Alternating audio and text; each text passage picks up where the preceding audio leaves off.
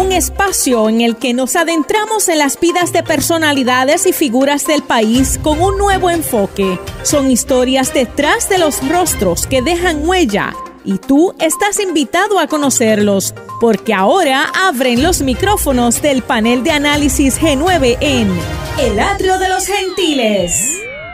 Buenas tardes y bienvenidos una vez más a este tu programa favorito, El Atrio de los Gentiles, que se transmite todos los martes por Católica Radio y por todas las plataformas digitales de la Pontificia Universidad Católica de Puerto Rico. Si no has visto o has escuchado todos los programas que hemos tenido en este trayecto de vida. Yo llevo aquí un año, yo no sé cuánto tú llevas ya, pero... Un poquito más, un poquito más de, un año, pero la verdad es que pueden ir a este depositorio digital en donde están grabados todos los programas del Atrio de los Gentiles y entretenerse, entretenerse un buen rato con todas estas entrevistas muy entretenidas, divertidas y sobre todo educadoras. Eso es así, porque mira, nosotros buscamos que esa, esa entrevista sea, mira, de lujo y de lujo es que tenemos aquí invitados. Mira, Yaira, yo te voy a contar cómo yo conozco al joven que vamos a presentar ahora, porque pues,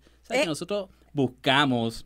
Nosotros vivimos en una búsqueda constante de recursos y, y, de, y de contenido. Esto de crear contenido no es nada fácil. Entonces yo ahí en la noche, mientras duermo, pues empiezo a buscar la gente que está in, que está aportando a Puerto Rico y me doy con el caso de esto de Dame Time Out yo, ¿quién es esto? Vamos Eso a de, de Dame Time Out suena cuando uno le estaba dando consecuencias a los niños, en la escuela elemental.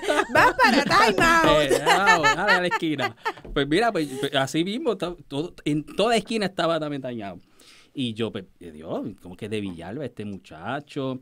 Y nada, pues yo le escribo y pues no me contesta. Me ignoró, me ignoró, Él te ignoró. Entonces, en, en el proceso de matrícula, ¿verdad? Porque yo soy registrador yo tengo a este muchacho de frente, eh, atendiendo su matrícula, y cuando coloco su número de estudiante, dice ahí, Carlos Fabián Torres. Mira, eh, ven acá, tú eres el, muchacho ese de, Dame Time Out. Y sí, yo soy.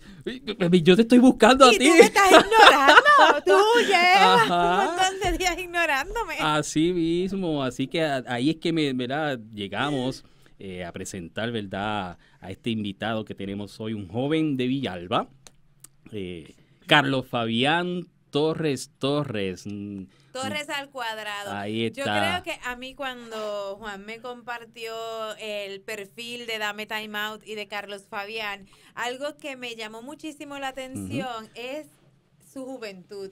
Y, el yo decir, mira, tenemos jóvenes que están trabajando por Puerto Rico, que están haciendo la diferencia, que están innovando, que están creando, que están eh, descubriéndose, pero al mismo tiempo están aportando de una manera creativa, divertida, enérgica, dentro de lo que les ha, todas las cosas que le apasionan. Así que nos llena de muchísima alegría que Carlos Fabián no solamente sea estudiante de la Pontificia Universidad Católica de Puerto Rico aquí en el recinto de Ponce, sino que también pues esté aquí con nosotros en el Atrio de los Gentiles, que como ustedes saben nos pueden escuchar todos los martes a través de las ondas radiales de Católica Radio y en todas las plataformas digitales de la Pontificia Universidad Católica de Puerto Rico. Así que como decíamos al principio, si usted se ha perdido algún programa, vaya a Spotify, vaya a YouTube, que allí nos puede, encontrar, Huellas del Futuro, el Atrio de los Gentiles. Es así. Buenas tardes, Carlos Fabián. Y buenas tardes, este, gracias, por, le quiero agradecer por la invitación y por esas expresiones, nada, este, espero ¿verdad? poder contestar sus preguntas y nada, gracias por la invitación nuevamente. Qué bueno, qué bueno. Siempre nos gusta, eh, Carlos Fabián, eh, ¿verdad? aunque ya introduje un poquitito de ti, eh, pues que nuestros radioescuchas y los que nos ven, pues conocer quién, quién es ese invitado, ¿verdad? Además de todo lo que está pasando, que eso vamos a hablar ya mismito de lo que está haciendo, pero queremos saber quién es Carlos Fabián Torres, de dónde viene, dónde estudió. Háblame un poco de ti. Pues mira, este, nada, Carlos Fabián es un joven de Villalba que desde, desde bien pequeñito le, inculcaron, le inculcaron lo que era lo que era, ¿verdad? El deporte. Y, ¿verdad? De bien pequeño practiqué distintos deportes. Eh, de pequeño, eh, ¿verdad? Jugué béisbol. Y luego de eso, pues, me cambié a lo que fue el baloncesto. Y nada, siempre mi abuelo fue esa persona que, siempre me, mostró que, ¿verdad? El deporte me enseñó. Yo siempre he dicho que él fue el quien me enseñó lo que era mal el deporte, ¿verdad? Siempre mi familia ha estado ahí, pero primordialmente, ¿verdad? Lo que es mi abuelo, que siempre me, me llevaba con él para los juegos. Mi abuelo también en un momento narró partidos, o siempre ha sido algo que siempre he tenido, siempre he llevado conmigo. Y nada, pues yo estudié, ¿verdad? Cuando de niño comencé en el colegio de Señora del Carmen en Villalba. Ahí estudié desde Kindle, pre-Kindle hasta sexto grado. De ahí pasé a lo que fue la Francisco Saya. Eh, y ahí estudié, ¿verdad? Lo que fue de séptimo a séptimo y octavo. Y para noveno grado, pues pasé a estudiar en Juanadía porque verdad quería conocer nuevas personas y verdad ya estaba más, en lo mismo, ya estaba verdad, conocía mucha gente, iba como para lo mismo de nuevo. Y quería como verdad este, abrirme esa nueva puerta, conocer nuevas personas y verdad conocer más mundo, como yo digo.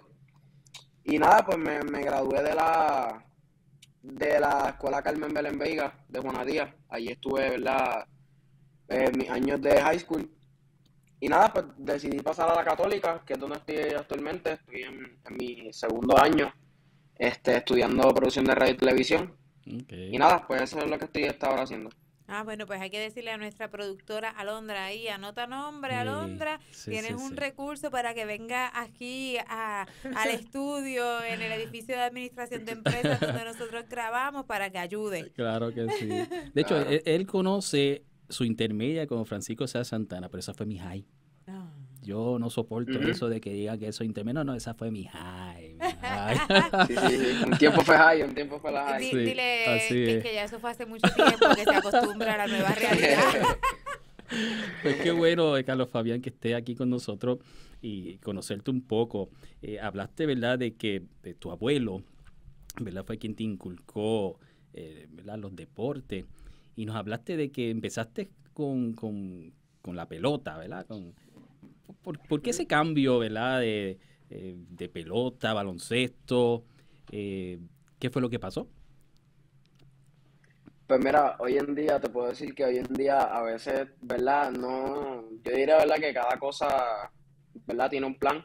Pero hoy, yo hoy día siempre le he dicho a mis papás que quizás me pudo haber quedado en la pelota. Pienso que ahí tal vez hoy día tuviera, ¿verdad? Aún jugando pelota y no tuviera la página, por eso pues no, no digo que, no, que me arrepiento, pero, pero sí me hubiese gustado, ¿verdad? Quedarme en pelota porque sí siento que, ¿verdad? Tenía más talento en lo que era la pelota. Pero bueno, ese cambio, pues no, yo digo que eh, jugando pelota, eh, tenía varias amistades que jugaban baloncesto y un día dijeron, mira, hay un torneo en Villalba eh, de baloncesto, si quieres jugarlo. Y bueno, desde que empecé a jugar baloncesto me enamoré del baloncesto y le perdí el amor a la pelota como jugador. Y en un momento, pues, verdad, mis papás me dijeron, pues tienes que escoger uno al otro porque no podemos estar nos de, volviendo de locos. las canchas, de las canchas. Ellos te dijeron, nos están volviendo locos entre las prácticas de béisbol y las de baloncesto. claro. Y mira, pues yo dije, pues mira, vámonos por el baloncesto, yo pienso que es lo que me gusta, y bueno, pues, ese fue el cambio. Dejé la pelota y, pues, aunque a, veces digo que quizás todavía estuviera jugando pelota, pero nada, eso fue, eso fue lo que tocó. Qué bien. Fíjate, y hay algo que, que tiene en su página de Instagram, eh, como un hashtag que dice, en la pública hay talento. Y eso, ¿verdad? Nos, nos enorgullece también porque, pues, uno, uno viene también de, de la pública y todo lo que podemos hacer y realizar con todas las enseñanzas que tuvimos en nuestro sistema público. Eh, así que qué bueno, qué bueno. Y, y entonces, tus padres pues te, te apoyan, ¿verdad? Eh, eh, en lo que es este deporte de baloncesto. ¿Cómo llegas entonces a, pues a, buscar esa oportunidad? No sé si, si jugaste en, en equipo en Villalba de, o de la escuela, eh, pudiste engranar, eh, eh, ¿verdad? Porque pasar de un deporte a otro, pues a veces uno tiene como que esa desventaja. ¿Cómo tuviste ¿verdad? ese desarrollo para lograr cambiar a, este deporte del baloncesto? Pues mira, eh, yo diría, yo siempre he sido bien sincero y, yo no fui el mejor jugador de baloncesto que quizás yo pude haber sido, quizás porque en ese momento no tenía la disciplina como jugador o porque no me dieron las oportunidades que quizás yo merecía de decir, mira, si tú me das estos minutos, yo pienso que yo puedo desarrollarme y ser el, mejor jugador posible. Y pues sí fue difícil porque, pues, ¿verdad? Muchas veces eh, yo diría que pude haber, ¿verdad? Tenido más minutos de los que recibía como jugador. Pero yo pienso que eso me enseñó mucho a mí, el, hacer ese cambio en, jugar baloncesto. Yo, no, como te digo, no quizás no fui el mejor jugador que pudo haber sido, pero yo tuve grandes experiencias como jugador de baloncesto. Yo tuve la oportunidad de viajar a Estados Unidos. La única vez que viajé en mi vida fue por, por jugar baloncesto. Yo tuve la oportunidad de, de, ser campeón de Puerto Rico en la Francisco Saya a nivel ¿verdad? de escuelas públicas en en mi octavo grado, que hasta ahora esa ha sido quizá una de las mejores experiencias de mi vida, poder, tú poder que se acabe el tiempo y decir, soy somos la mejor escuela pública de Puerto Rico eh, a nivel de baloncesto. Y pues mira, yo diría que pues ese, ese cambio me llevó a, entender muchas cosas y a entender que, ¿verdad? Muchas veces, aunque no te brinden esa oportunidad, uno siempre puede sacar lo bueno a, a cada cosa y yo siempre me llevo eso conmigo y a pesar de que no, ¿verdad? No, no tuve grandes oportunidades así en el baloncesto como jugador, no, no tuve una beca, que quizás esa hubiese sido una de mis metas, pero sí me llevé mucha gente, me llevé mucha experiencia y conocí muchas personas que hoy día, ¿verdad? Todavía llevo conmigo. Qué bueno. Sí, yo pienso que el desarrollo personal que uno puede trabajar a través del deporte, eh, una de las cosas que siento que se resaltan en, Carlos Fabián, es esta también habilidad para poder expresarse, sacar eh, eh, lo positivo de cada una de sus experiencias, eso que es una madurez que también se desarrolla en el a través del deporte. Hace, hace varios programas atrás nosotros teníamos aquí de invitado al doctor David Bernier y cómo él hablaba de la importancia del deporte independientemente de fueras a ser lo que tú mismo dices, el mejor atleta o te fueras a desempeñar grandemente eh, en ese deporte o fueras a vivir de ese deporte, que esa fuera tu profesión. Más allá de eso, la importancia de integrar en edades tempranas el deporte en nuestra juventud, en nuestros niños, en nuestras niñas, para que se desarrollen y adquieran eso mismo que tú acabas de expresar, esa madurez de poder discernir y diferenciar eh, lo positivo de una experiencia que tal vez no era todo lo que tú esperabas, pero se convirtió en una experiencia de aprendizaje, en una experiencia de desarrollo personal y una oportunidad para, para madurar y seguir creciendo. y en este mismo proceso, entonces, decides entrar a la Pontificia Universidad Católica de Puerto Rico a través del programa de comunicaciones. Pues, ¿cómo se da entonces ese switch de las aspiraciones deportivas y atléticas con el área de comunicaciones? Pues mira, eh, ese cambio se da básicamente cuando yo estaba en la high, eh, ¿verdad? Ya, o sea, cuando, cuando yo estuve en la Carmen, eh, ocurrió la pandemia, varios de mis años en la Carmen, pues los tuve online. Y pues, o sea, hubo un momento que ahora mismo, ¿verdad? Yo soy, yo digo que sigo siendo atleta porque yo, si yo voy al gym todos los días, yo corro, yo sigo siendo un atleta por más que, ¿verdad? Ya no juega baloncesto. Mm. Pues cuando llega la pandemia, eh, yo decido acabar lo que es el baloncesto y empezar a, trabajar en mí en cuestión de mi físico porque, ¿verdad? Yo voy a hacer muchas burlas eh, cuando fui más joven.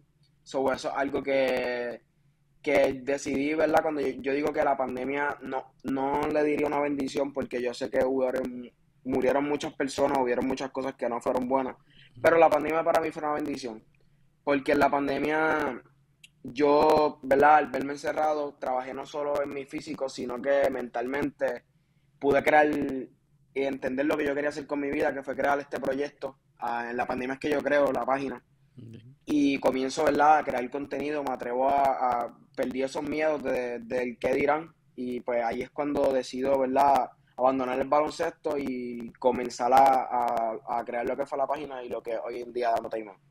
Yo creo que cada cual, ¿verdad?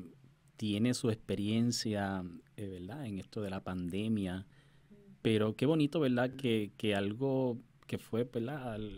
Eh, desastroso, ¿verdad? Para todo el mundo, eh, se ha convertido, hay mucha experiencia también que convirtieron esa experiencia en algo positivo, ¿no?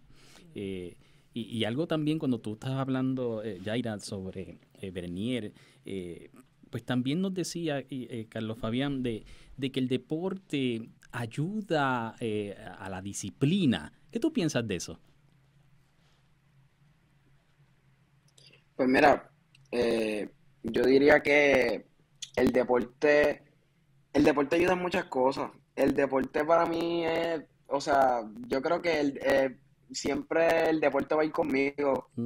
Haga lo que yo haga en mi vida, porque yo no sé si esto es lo que yo voy a hacer el resto de mi vida. Ojalá esto sea lo que yo, lo que yo, ¿verdad? Pueda hacer y este proyecto explote y sea de que yo pueda vivir de esto. Pero el deporte siempre va a ir conmigo porque, o sea, yo pienso que la disciplina que me trajo a mí como persona, el, o sea, mi, hoy en día yo no puedo hacer nada si yo no si yo el día antes dije, no, voy a hacer esto, esto, esto. O sea, yo tengo, que, yo tengo una rutina, mis días se basan en una rutina y el gimnasio, los ejercicios, el correr, el comer bien, todo eso ha, traído una disciplina en mí. O sea, yo soy una persona súper disciplinada, súper recogida. Y yo creo que yo he sabido lo que es combinar el deporte y la disciplina del deporte con mi disciplina hoy en día yo, ¿verdad? Diría que soy una persona súper disciplinada, una persona súper respetuosa, súper humilde. Y aparte de verdad, obviamente, agradezco mucho los padres que he tenido que me han inculcado grandes cosas, ¿verdad? Y me han criado de la mejor manera que lo han podido hacer. Pero aparte de eso, lo que ha creado el deporte en mí es disciplina y el seguir trabajando siempre por lo que uno quiere. Claro, porque no, la, la disciplina no solamente es portarse bien, Exactamente. La, disciplina no tiene que ver completamente con el comportamiento, sino es con un estilo de vida saludable, como, como Carlos Fabián lo, lo menciona. E, ese estilo de vida saludable, él a mí me encantó porque dijo que yo soy hasta recogido. él,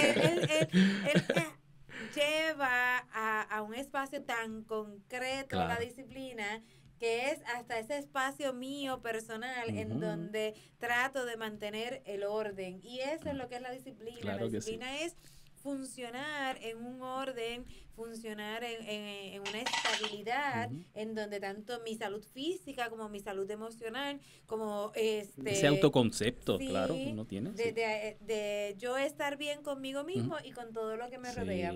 Así que de verdad e, es muy interesante estos planteamientos que él trae y cómo traduce que esa disciplina deportiva lo lleva a definir lo que tú mismo dices, el autoconcepto. Es correcto. E, e, esa disciplina deportiva, como también la traslada a su espacio personal, académico y a este emprendimiento que está desarrollando, que viene también como desarrollo a, la luz de, la creatividad, que lo forzó la pandemia a invertir su tiempo de una manera productiva, porque muchos estábamos en nuestras casas y nos aferramos a las redes sociales en la pandemia para comunicarnos, para sentirnos en comunidad, para sentirnos acompañados. Y entonces el utilizarlo también eh, como un espacio de creatividad, de innovación, es algo genial. y se nos acaba el primer segmento con todo esto que hemos conversado con Carlos Fabián. Así que no se mueva nadie, que nadie se retire, no cambien de emisora, porque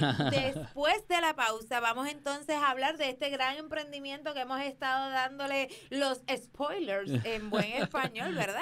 Eh, de qué es ese emprendimiento, cuál es esta propuesta creativa a través de las redes sociales y el deporte, que vinculan todo lo que le gusta a Carlos Fabián, porque vincula los deportes que tanto le gustan, especialmente el baloncesto, en eh, la creatividad, la, eh, la creación de contenido y las comunicaciones, que es lo que, en lo que se está preparando y desarrollando profesionalmente en estos momentos. Por lo tanto, vamos a una pequeña pausa. Ustedes aquí no se retira, no nos cambia de emisora y regresamos en breve en el atrio de los gentiles. El atrio de los gentiles.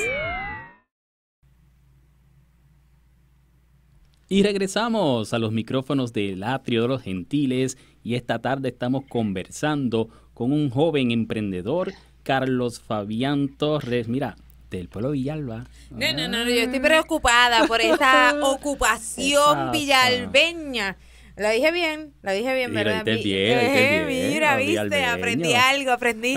Ese, pues, esa ocupación que han hecho del territorio sur y sobre todo de la católica, porque Villalba se está apoderando de la católica, es una, estamos ahí cerquita, una realidad, este, pero gente buena, gente que hace patria trabajando y que ha decidido pues innovar, que ha decidido eh, levantar a este Puerto Rico a través de cada una de los espacios en los que nos estamos desarrollando.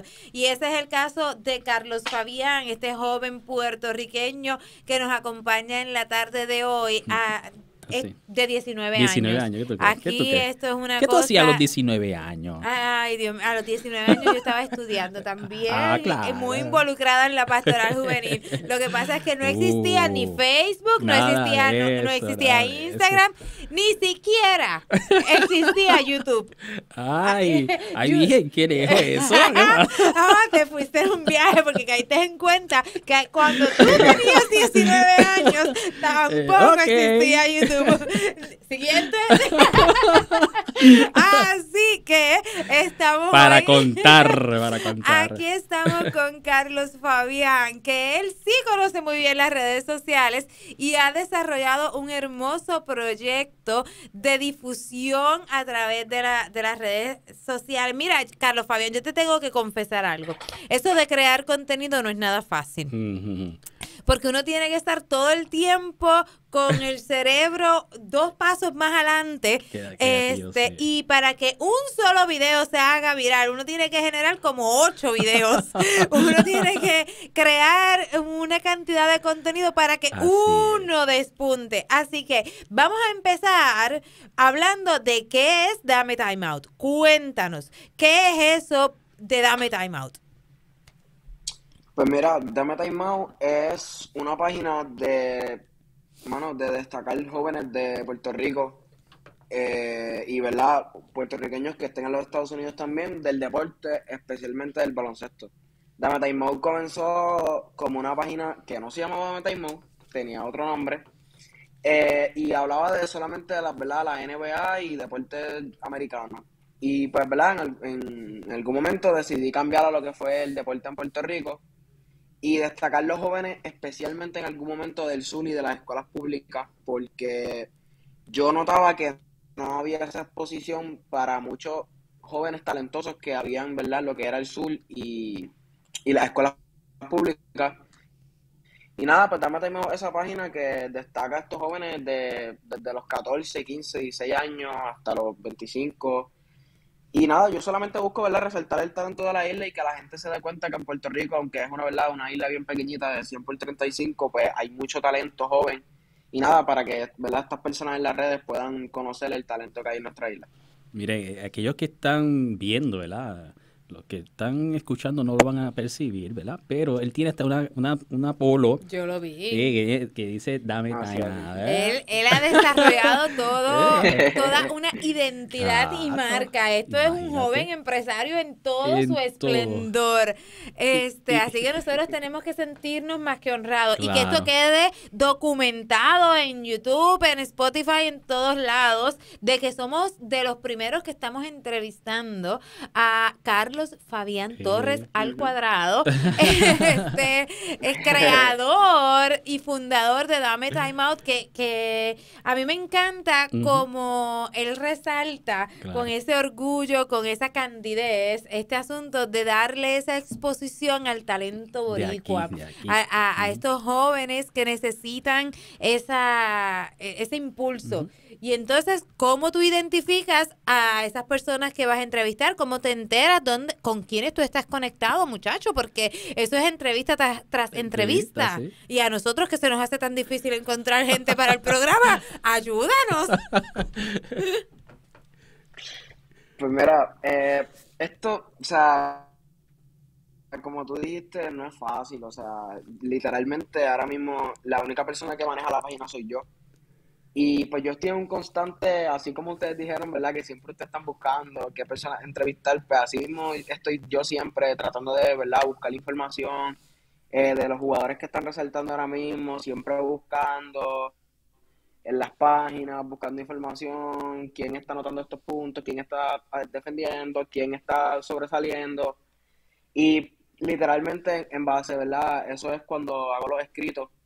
Pero en cuestión de las entrevistas que normalmente hago, ¿verdad? Quiero tomar, ¿verdad? Esta oportunidad que ustedes me están dando para agradecer a mi papá, a mi familia, pero especialmente a mi papá, porque esa persona, o sea, lo que Dios me dio como padre, algo que, o sea, es una, él no tiene un no para mí, literalmente, papi, vamos para San Juan, o sea, yo soy de Villalba, San Juan, me queda lejos, papi, vamos para San Juan el sábado, se lo digo el jueves, porque tengo para hacer dos entrevistas, que tampoco es, y no me están pagando literalmente por yo ir allá y él, vale, vamos para encima, vamos para allá, la polo, como ustedes dijeron, esta polo me la regaló él.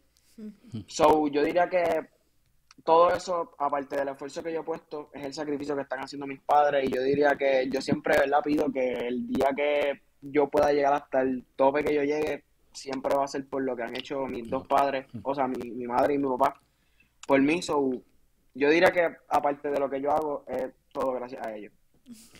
Wow. Me emocioné. ¿Qué, qué?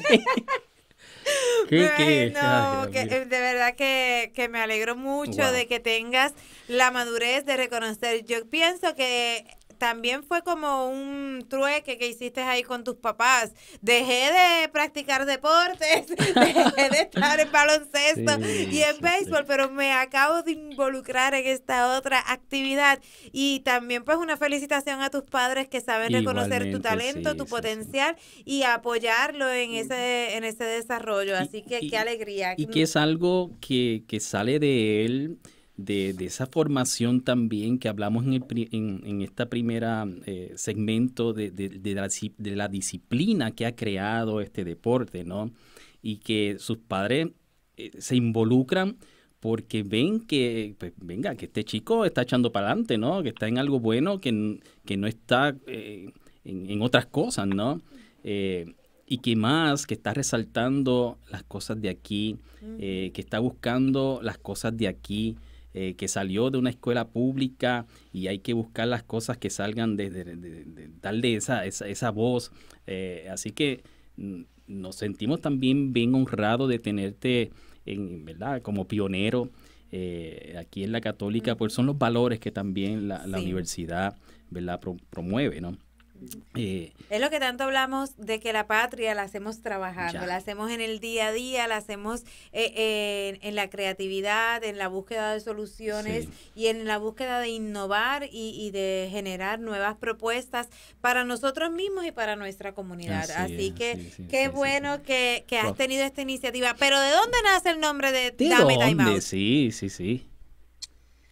Ya, pues, esa pregunta es bien difícil porque este, cuando yo decido cambiar el nombre de la página, ¿Cómo se llamaba antes? Ah, porque el anterior nombre de la página, el, el primer nombre de la página era King Oxford, so era un nombre que yo diría, yo No digo era tan que pegajoso, si yo voy a hablar sí. de Puerto Rico, yo no puedo tener este nombre porque es como que, sí, no, no era, y pues mira, literalmente yo tenía varios nombres y yo escogí esos nombres, esto es algo que yo siempre digo que me, me da risa ahora, pero pues fue, yo cogí todos esos nombres y yo comencé a personas cercanas a mí, yo comencé a enviarle un mensaje diciéndole, escoge un, uno de, vota por uno de estos tres nombres. Y no le decía para Ajá. qué era, solamente vota por uno de estos tres nombres. Y pues la mayoría de los votos fue Dame Time Out. Y así hasta donde hemos llegado hoy con ese nombre fue gracias a todas las personas que me respondieron a aquel mensaje. qué bien. La verdad es que tiene catch up, Claro. tiene, es, es pegajoso, es, es creativo, sí, sí. ti- tiene, tiene Y, ta- ese y también viene el baloncesto. Time out. Ajá, sí. eh, Bueno, ahorita teníamos dificultades técnicas y yo le decía, time out, time out. Con- la, la T con la mano, porque este, ese yo creo que es algo tan típico de muchísimos deportes Sí, colectivos. sí, sí, sí. Este, porque ese time out se utiliza en el béisbol, béisbol, se utiliza en la pelota, eh, digo, en, el baloncesto, así que es algo muy típico. se utiliza hasta en los juegos cuando jugamos de esconder y, de pillo, eh, pillo, policía, chicos paralizados. ¡Time out! Time out, un momento, espérate. y es algo muy típico de nosotros, de nuestra infancia, sea de la generación que se sea. es correcto. Eh, a mí me gustaría saber, este, Carlos Fabián, cómo los estudios, ¿verdad? ahora que estás, ¿verdad? En la comunicación, te han ayudado en este proyecto educativo que tienes en las redes. Pues, mira, yo te diría que actualmente, ¿verdad? Al estar en mi segundo año, quizás no, no he cogido la, ¿verdad? todas las clases que como que te dan esa emoción y están bien parecidas, ¿verdad? A lo que yo quiero hacer en la página. Pero he logrado, ¿verdad? Aprender mucho en cuestión de, eh, ¿verdad? El semestre pasado cogí una clase que era escritura de libretos y yo soy una persona que le gusta mucho lo que es escribir. Y esa clase de escritura de libretos me, me ayudó a, expandir, este, a expandir más mi vocabulario y a, a, a, entender cómo se puede escribir un libreto.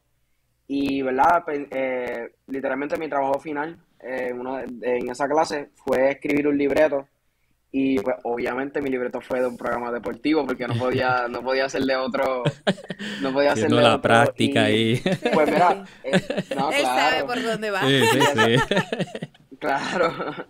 Y eso es algo, ¿verdad? Que yo pues me, me, gustó mucho porque hoy en día, ¿verdad? Yo te puedo decir que ahora mismo yo, a mis 19 años y en apenas mi segundo año de universidad, yo podría escribir un libreto y llevarlo y presentarlo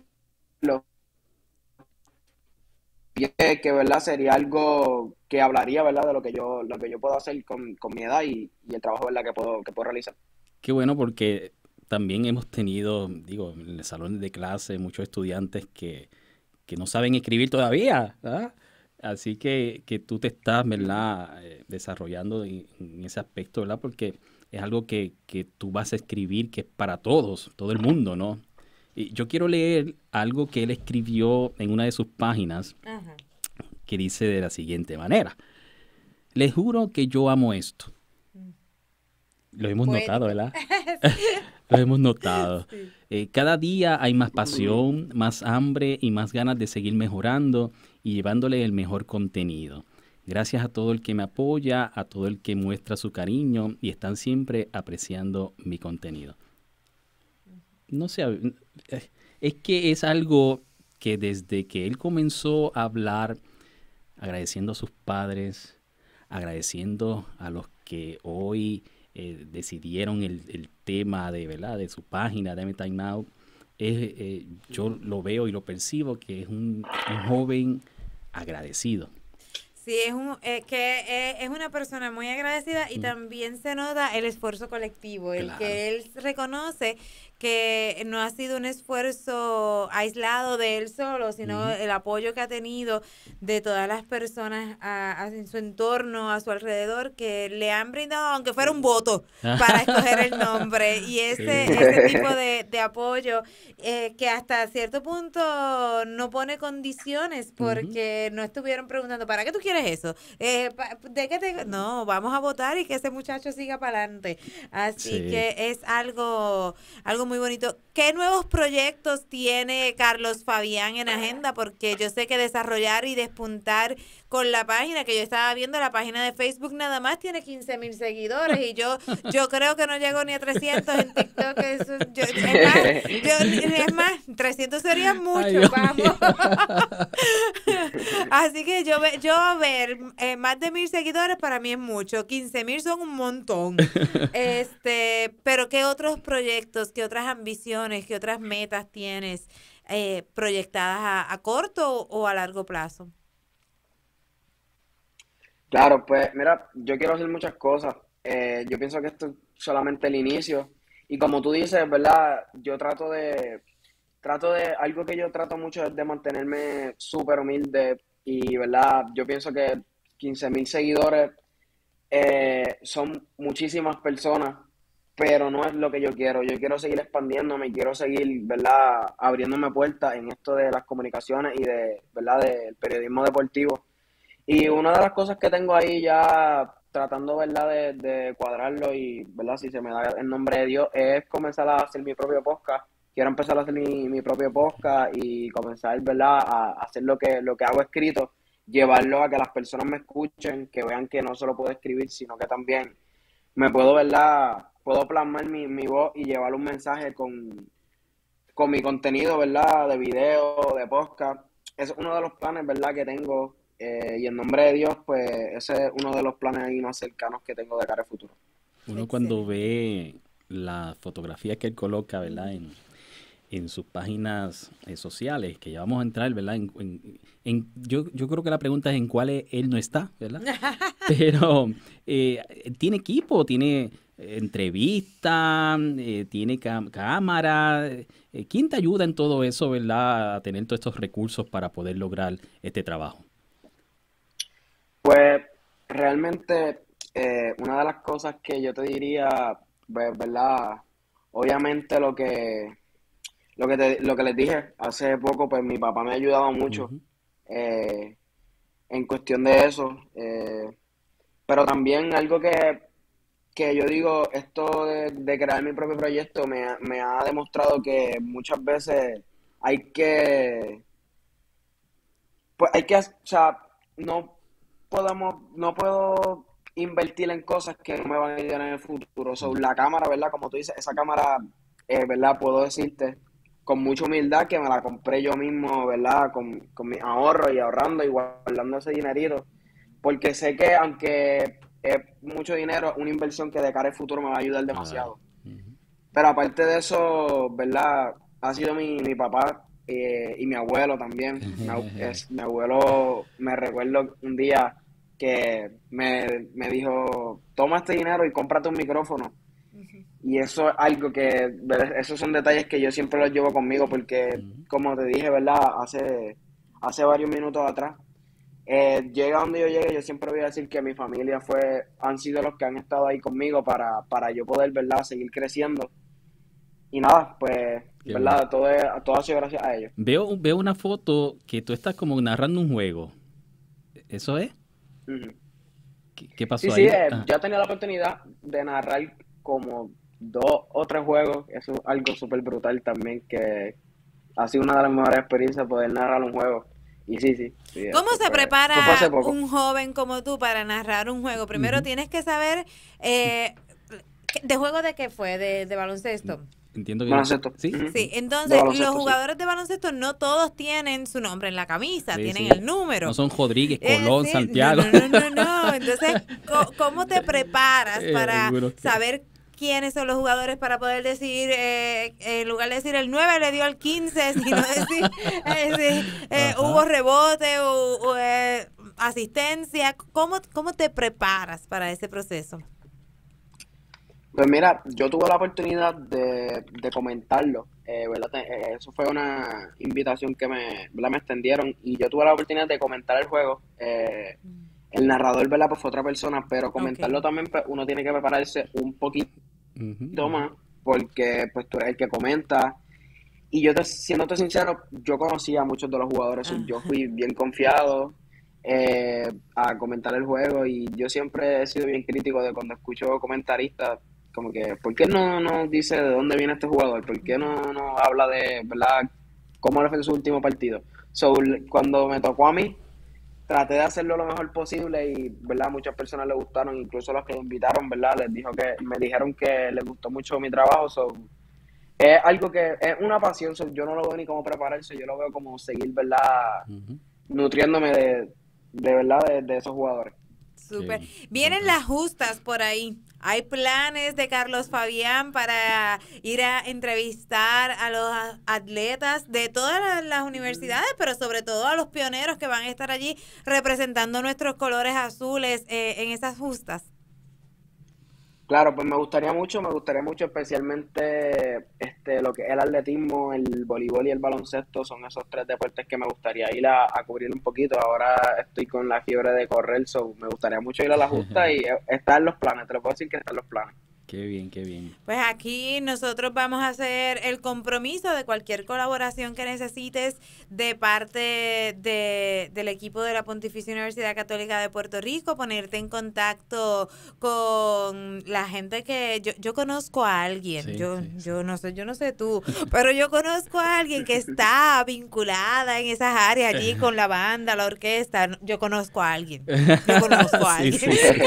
y conozco a, a otra persona que trabaja en, en el complejo Claro, que lo deportivo con los atletas, aquí, que también sí. estuvo aquí en el programa. Así que nosotros te, te podemos ayudar ahí a hacer los contactos y que Carlos Fabián Claro. pueda estar Qué entrevistando a Sí, nuestros sí. atletas y difundiéndolos en las redes sociales. Mira, Carlos, eh, eh, dime de, de tus páginas, en dónde está, cómo te podemos encontrar. Claro, pues mira, eh, en Facebook me pueden encontrar como Dame Timeout, en Instagram dametimeout.pr y ¿verdad? mi cuenta personal en Instagram es carlos.fabián, pero en el Carlos, en vez de una A, pues una V. Ok, ok. En todas las plataformas, ¿verdad? En como todas las como este programa. Sí, no, no, no. Estamos en todas. Este, bueno, qué bueno. Carlos, de verdad que muchísimas gracias por haber estado con nosotros en la tarde de hoy, Sí, compartiendo sí, tu talento, tu carisma, tu alegría. Eh, jóvenes como tú nos inyectan de esperanza es. y de energía. Sabemos que el Puerto Rico que se levanta, el Puerto Rico que se construye, está en buenas manos. Así que que Dios y la Virgen te bendigan, que te sigan iluminando para que sigas cosechando éxito. Y aquí, desde el Atrio de los Gentiles, pues nos comprometemos a colaborar con ese proceso junto contigo y a seguir sacando pioneros para el mundo. Así es, agradecido, ¿verdad? Por esta oportunidad que nos das, y, ¿verdad? Por encontrarte de frente ahí. Eh, gracias a Dios que lo, lo tienes de frente. no sí, sí, ven para acá, ven para es la acá. verdad. Así que te felicitamos y te deseamos el mejor de los éxitos en todos tus proyectos. Aquí, el Atrio de los Gentiles, eh, tienes tu casa abierta. Claro, no, muchas gracias a ustedes de verdad por, por la invitación. Eh, me gustó mucho, ¿verdad? Hablar aquí con ustedes y compartir un poco, ¿verdad? De lo que es mi historia. Y nada, agradezco mucho a ustedes por la oportunidad, les deseo mucho éxito con su proyecto y también, ¿verdad? Siempre van a tener aquí alguien, ¿verdad? Para cuando necesiten. Muchísimas gracias. Y a todos ustedes que nos han estado escuchando durante la tarde de hoy, no se olvide nadie que el próximo martes estaremos aquí en los micrófonos del Atrio de los Sentiles esperando por ustedes. Buenas tardes. Buenas tardes. Intégrate a la mesa y descubre las vidas de los gentiles. Comunícate con nosotros a elatriodelosgentiles.pucpr.edu. Queremos saber de ti. El Atrio de los Gentiles es una producción de la Pontificia Universidad Católica de Puerto Rico.